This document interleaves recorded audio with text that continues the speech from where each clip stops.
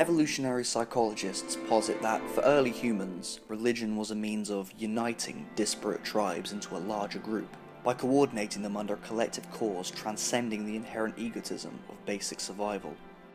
Beyond one specific ideology, religion offers a sense of community, just like family or even a company. However, this dynamic also leaves room for the despot, one who preys on the need for purpose, makes the masses selfless so their goals might align with the individual's selfish pursuits. Paul Thomas Anderson challenges both variables of America's capitalist theocrat equation, with back to back masterpieces There Will Be Blood and The Master. Theocracy has the prophet, capitalism the tycoon. But in examining the subtleties, Anderson concludes they are one and the same.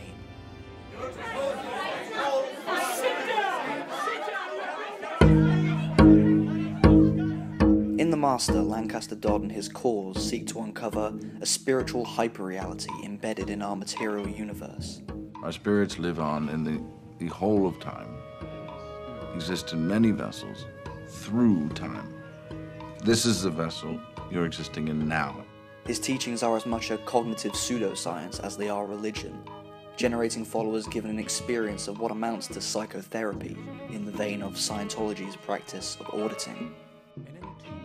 Daniel Plainview of There Will Be Blood, meanwhile, represents a violent perversion of the American dream that sees power and wealth as a finite resource. One night I'm gonna come to you inside of your house, wherever you're sleeping, and I'm gonna cut your throat. Oil is the capitalist's baptismal ointment, substituting the blood of lamb used to cleanse Christians of sin. There Will Be Blood structurally is kinetic, marking the unflappable forward momentum of economic progress. It achieves this feat not with rapid editing, but consistently deliberate camera movement, most notably a specialized long take that threads multiple shot types, a technique used to great effect by Spielberg throughout his career.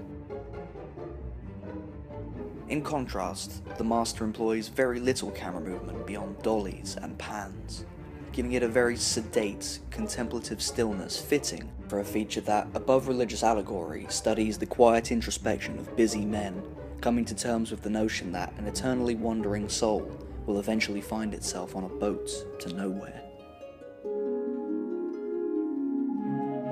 Despite aesthetic similarities, the Master is not analogous to L. Ron Hubbard and the infancy of Scientology, even in the sense of a roman à clef. It observes that religion today is mostly an attempt to fish out a pearl of defined purpose from a sea of randomness. Yet Lancaster Dodd is strangely unable to offer a single description of what his work involves. I am a writer, a doctor, a nuclear physicist, a theoretical philosopher. But above all, I am a man hopelessly inquisitive man, just like you. The prophet is a magnetic presence because of their strength and assurance of will. On the surface, Dodd is headstrong, in spite of deep rooted epistemological doubts, whereas Freddie Quell, the Navy man, is conspicuously unstable, mentally scarred by his youth and experience of war in the Pacific. But the hole in his heart can be filled by something as simple as companionship. The first processing sequence between Freddie and Dodd is the latter's attempt to ascertain what trauma drives Freddie, and it underpins the pair's spiritual journey for the rest of the film. Do your past failures bother you? No. Do your past failures bother you? No. Do your past failures bother you? No. In one of many examples of self aware visual meta commentary by P.T. Anderson, the scene takes place aboard the ship Aletheia, a philosophical term for truth or disclosure, while water itself is a Jungian symbol for the unconscious mind. Through processing, Dodd unmasks Freddie's sorrow, an affliction he's beginning to exercise. There's actually very little malice in Dodd's posturing as a kind of deity. All he wants for his subjects is to prevent the pain of their past from colouring the future. Free yourself from past trauma. Free yourself from past trauma. Take control of If Christianity is a religion of the next life, and Lancaster Dodd's cause a religion of past lives, There Will Be Blood offers up capitalism as the religion of this life. The film pits God against the devil in battle eternal between Daniel Plainview and Eli Sunday.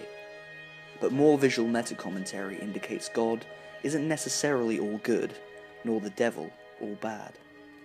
This is seen through the quote unquote evil Daniel, ruminating to himself but bathed in light, as he watches the pious Eli mumble, cloaked in shadow. The tycoon, at least, promises riches in this life, where the priest withholds reward until the next. Philosopher Friedrich Nietzsche argued that religion is ultimately an expression of self interest. Daniel never entertains the possibility that Eli's desire might be motivated by anything other than his will to power, and he's right. There's no question in Daniel's mind that Eli uses religion merely to rationalize self serving motives, which possibly inspires Plainview to follow a similar path.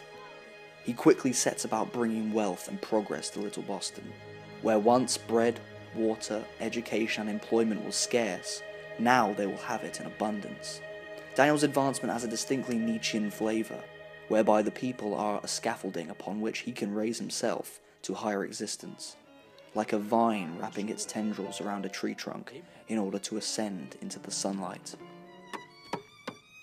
Early scenes of There Will Be Blood show injury and death as Daniel slowly builds his empire. Destruction, loss, and pain are presented as integral parts of greatness.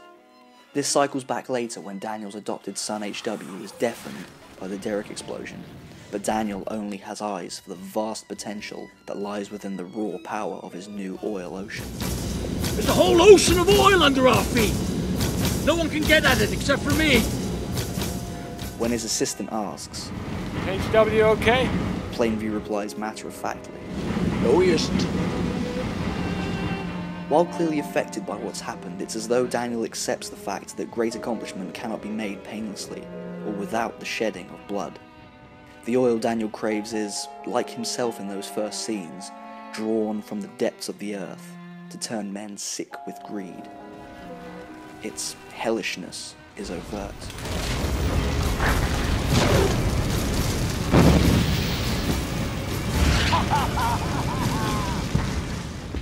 At the close of the film, after Daniel has just cast out his adopted son, he beats Eli with a bowling pin and leaves him for dead in a pool of blood, appearing to have finally gone mad after rooting out the Christian scourge. He's provided the people with economic prosperity, liberated them from the constraints of poverty, and yet his acts can still be considered deeply immoral. Nietzsche felt that it's better to constrain no one and let nature weed out the weak. But power left unchecked soon turns to tyranny, and only a few powerful masters are left with real freedom. The liberal argument would see everyone given relative freedom to prevent an elite minority having absolute control. But There Will Be Blood is somewhat post liberal and lets the viewer draw their own conclusion because the world is far darker than our ideals for it. I want to resist, but the moon is Lancaster Dodd, like Daniel Plainview, is a type of Nietzschean Ubermensch, but lives too closely by a value system of his own creation. Plainview justifies self serving actions through his commitment to family and helping of the community, but is ultimately ruled by egotism. Dodd's entire mission is to help his apostles transcend egotism, and the cost of healing others seems to take a toll on his own convictions. His will to power is the ultimate Nietzschean ideal because it means raising up others, not dominating them. Certainty is easier to dramatize than ambiguity. Oh, if, if, if you if you if, if you already know the answers to your questions, then why ask? Pig fuck! Religion invitingly offers answers to questions where science endlessly challenges its own assumptions, which are both strengths in very different ways. Dodd's cause, strangely, does both, seeking to enlighten its proponents to a higher plane of experience while being susceptible to revision. I did notice on page 13 there's a change. You've changed the processing platform question. Now it says, Can you imagine?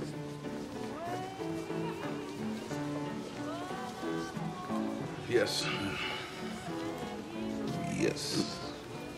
Believers who grow doubts are pushed to find a purer sense of their convictions and a distilled meaning of their God, because every ideology is, on some level, a delusion. I need help. I'm a sinner. There's no one method or collection of methods for making sense of the world. Even masters are slaves to their cause, and servants at least get to choose which cause they will follow. To some degree, both the Master and There Will Be Blood are uncrackable as texts, their messages oblique and shape-shifting. As a companion piece, they amount to more than a portrait of power and American ambition. They're a direct challenge to the two primary lenses through which we indirectly choose to view the world. But like America's flawed founding principles of God and liberty, as well as their doomed vestiges Lancaster Dodd and Daniel Plainview, P.T. Anderson can offer no solution. Although, if we consider the meaning of music is found not in the notes themselves, but in the pauses between notes, which prevent the sound from being unending vibration, perhaps the purpose of There Will Be Blood and the Master is likewise found in their texture and essence. In the spaces between words, just as the true purpose of one's faith is revealed in the silent moments between prayer. How do you feel? I feel good. Sadly, no one has the answers, and we should always be wary of those claiming they do, because an enlightened mind does not know everything. As the Socratic paradox goes, it only knows for certain that we know nothing. For if you figure a way to live without serving a master, any master, then let the rest of us know, will you?